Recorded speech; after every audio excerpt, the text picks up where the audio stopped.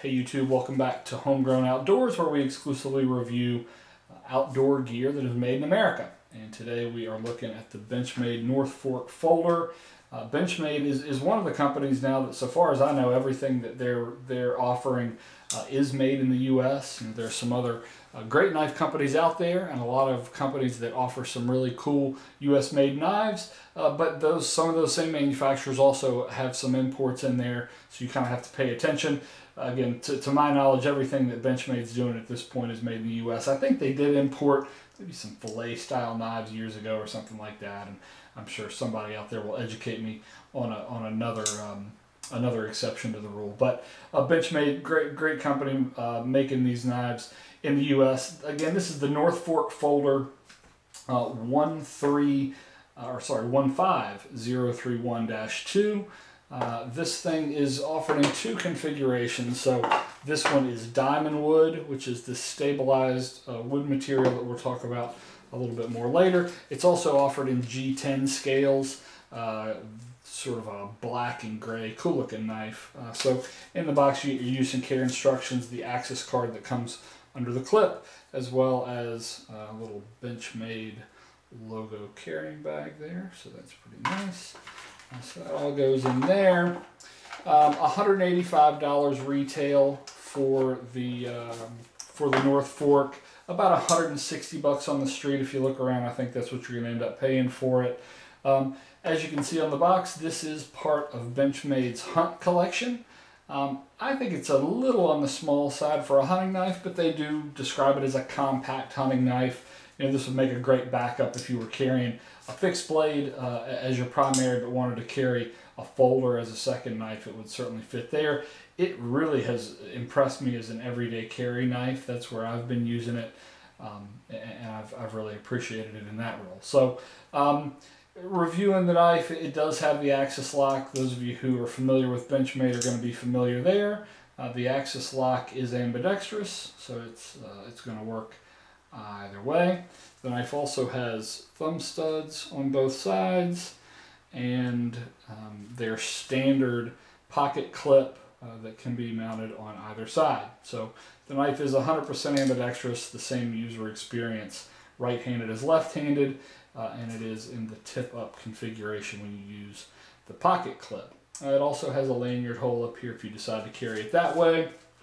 Um, S30V blade uh, so great, uh, great everyday carry blade, as well as um, as well as a hunting blade holds the edge well. Pretty tough material without breaking the bank too badly. Uh, jimping this uh, this texturing on the spine in two locations. So here as well as up here. Uh, so if you're doing a little bit of detail work, you've, you've got a bit there to to get some purchase. So that's certainly helpful in the, uh, the hunt side of things. Um, the stabilized wood that I mentioned earlier, so that uses wood, but they inject resin into it, so you keep the wood grain, and, and I think this is a pretty attractive one. Uh, but you get a little bit more resiliency to the elements with that resin that's been injected in there. Uh, you also see stainless steel liners here, uh, so compared to something like a, a, Bugout that does not have liners, the, knife feels like it has a little more heft to it and, and certainly a little more rigidity. The knife is not heavy by any stretch of the imagination, but those liners do give it a little bit different feel. Closed, uh, the knife is 3.9 inches long, open uh, 6.97, so just shy of 7 inches long. Uh, open, blade length 2.97 inches. The handle thickness is uh, 0.53, so not thick, but again, uh, ju just enough thickness where uh, it does feel good in the hand. Uh, doesn't feel like you're, you know, you're trying to hold onto something that's super skinny. Uh, weight with the Dymondwood handles is 3.16 ounces, slightly heavier with G10s at 3.41. Uh, so those are the sort of the statistics there. For size comparison, uh, this is a Mini Bugout that has a little bit of residue from a box that I just opened. Uh, so this is one that we've done a review on uh, previously. Uh, so again, looking at them side by side, the Mini Bugout is certainly a bit smaller uh, than the North Fork um, in, in, every dimension. So looking at, at, them closed side by side, um, a bit smaller there. The North Fork again has a little more heft, uh, just a little bit wider. You know, it feels more substantial in hand, and I'm a, I'm a fan of the Mini Bugout as well, but uh, just, just a different kind of knife. Uh, and then looking at them again side by side, more or less lining up the pivots. Uh, so if you're familiar with the Bugout, the Mini Bugout, that gives you an idea of how those two stack up. This is another knife that I also used for size comparison previously, the Buck 110 Slim. Um, so this one, the, the 110, again, longer handle and, and blade, so sort of going the other direction as compared uh, to the North Fork. Uh, the 110, holding up to its name, is pretty slim as well. So um, a, a, bit wider with the North Fork as compared to the Buck 110. Buck 110 is in a little bit different class, certainly a different price point. I think the the uh, the North Fork is is a, a, much more refined knife, more refined design for sure. But for price or um, size comparison, that Buck 110 platform is pretty familiar to a lot of folks, so I thought that might be useful. So we'll take those back out of the way. Overall, uh, I've really been happy with the North Fork. Uh, this is probably my favorite knife right now for what I own. Um, operation is super smooth, even smoother uh, than the Mini Bugout. I, I, don't know if it's just the heft in the handle uh, that makes it feel a bit smoother to me. Um, but I, have really appreciated the, the handling uh, of the North Fork overall. Sharp out of the box again, S30V steel, uh, great blade material.